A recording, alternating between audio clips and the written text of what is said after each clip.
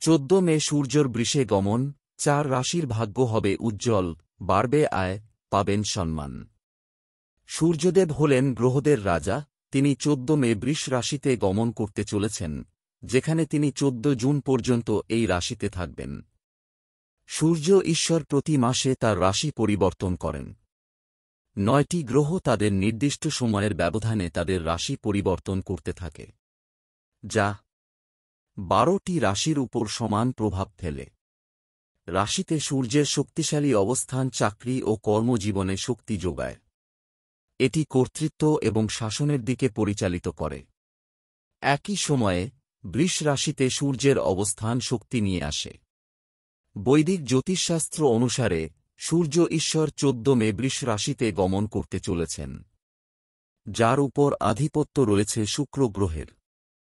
জ্যোতিষশাস্ত্রে সূর্য ঈশ্বরকে প্রশাসন, আত্মা, পিতা, স্বাস্থ্য, আত্মবিশ্বাস এবং চাকরির কারক হিসাবে বিবেচনা করা হয়।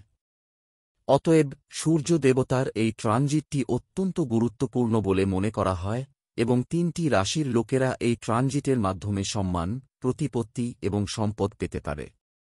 মেষ রাশি, বৃষ রাশি, কর্কট রাশি। সূর্য দেবতার রাশি পরিবর্তন কর্কট রাশির জাতকদের জন্য উপকারী প্রমাণিত হতে পারে। কারণ এই ট্রানজিট ঘটতে চলেছে আয়ের ঘরে রাশি থেকে। অতএব এই সময় আয় ভালো বৃদ্ধি হতে পারে। সেখানে আয়ের নতুন উৎস তৈরি হতে পারে। পুরনো বিনিয়োগ থেকেও সুবিধা পেতে পারেন।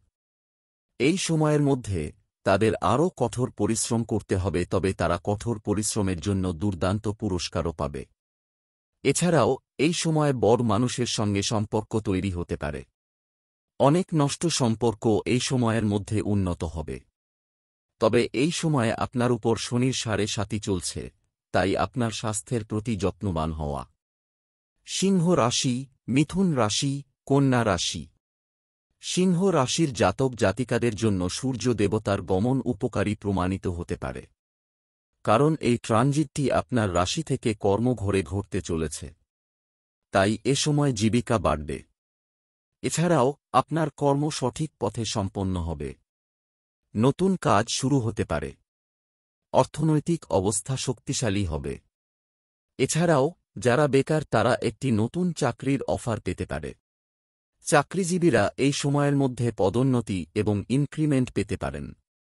এছাড়াও, ব্যবসায়ীরা এই সময় ভালো অর্ডার পেতে পারেন। যা থেকে আপনি উপকৃত হতে পারেন। এই সময়ে আপনার আত্মবিশ্বাস বৃদ্ধি পাবে। কুম্ভ রাশি, তুলা রাশি, মকর রাশি। সূর্য দেবতার রাশি পরিবর্তনে আপনি আর্থিকভাবে লাভবান হতে পারেন। কারণ সূর্য দেবতা রাশি থেকে পঞ্চম ঘরে গমন করতে চলেছেন।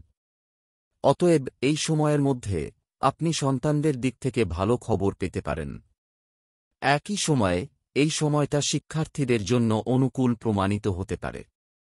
এ সময় তারা যে কোনো উচ্চতর প্রতিষ্ঠানে ভর্তি হতে পারেন। সেই সঙ্গে প্রেমের সম্পর্কের ক্ষেত্রেও সাফল্য পাওয়া যেতে পারে। এছাড়াও মনটাও এই সময় খুশি থাকবে।